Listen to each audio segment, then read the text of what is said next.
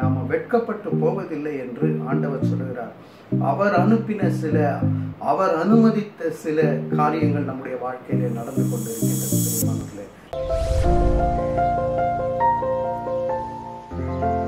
இந்த பேண்டமிக்ல நடக்க வேண்டிய சில காரியங்கள் நடக்காம போயிருக்கலாம்.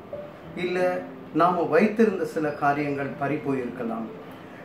நாம் சம்பாத்தியம் போயிருக்கலாம் வேலை போயிருக்கலாம் இல்லை நாம் நடக்க வேண்டிய ஒரு சில நம்முடைய குடும்பத்தில் நடக்க வேண்டிய ஒரு சில நிகழ்வுகள் நடக்காம தேக்க நிலைக்குள்ளாய் நாம் கடந்து சென்று கொண்டிருக்கலாம். எல்லாம் இப்படிப்பட்ட ஒரு நிலைமையில சோர்ந்து போகக்கூடிய ஒரு காலகட்டம் உண்டு.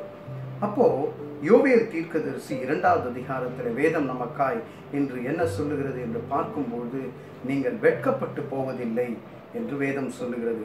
இருபத்தி ஐந்தாவது வசனத்திலே நான் உங்களிடத்திலே அனுப்பின என் பெரிய சேனையாகிய வெட்டிக்கிளிகளும் பச்சை கிளிகளும் முசுக்கட்டை பூச்சிகளும் பச்சை புழுக்களும் பட்சித்த வருஷங்களின் விளைவை உங்களுக்கு திரும்ப அளிப்பேன்.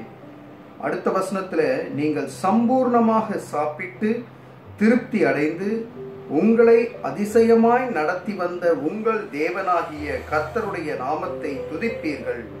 என் ஜனங்கள் ஒருபோதும் வெட்கப்பட்டு போவதில்லை என்று சொல்லி சம்பூர்ணமாக சாப்பிட்டு திருப்தி அடைந்து அதிசயமாய் நடத்தி வந்த நம்முடைய தேவனாகிய கர்த்தருடைய நாமத்தை இயேசு என்கின்ற நாமத்தை துதித்து நாம என் ஜனங்கள் ஒருபோதும் வெட்கப்பட்டு போவதில்லை. நாம வெட்கப்பட்டு போவதில்லை என்று ஆண்டவர் சொல்கிறார் அவர் அனுப்பின சில அவர் அனுமதித்த சில காரியங்கள் நம்முடைய வாழ்க்கையிலே நடந்து கொண்டிருக்கின்றது பெரியமானவர்களே.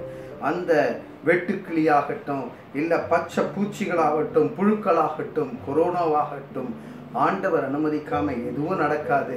ஆண்டவர் அனுமதித்திருக்கின்றார். தேக்க நிலையிலே இருக்கிறோம் என்று சோர்ந்து போகாதபடிக்கு ஆண்டவர் சொல்லுகிறார் நீங்கள் வெட்கப்பட்டு போவதில்லை. நான் உங்களுக்கு திரும்ப அளிப்பேன் என்று சொல்லி I will restore the years I will restore the glory I will restore your happiness என்று சொல்லி நம்பிக்கை கொடுக்கின்றார். அந்த நம்பிக்கையோடு இந்த நாளை துவங்குவோம். Good morning morning.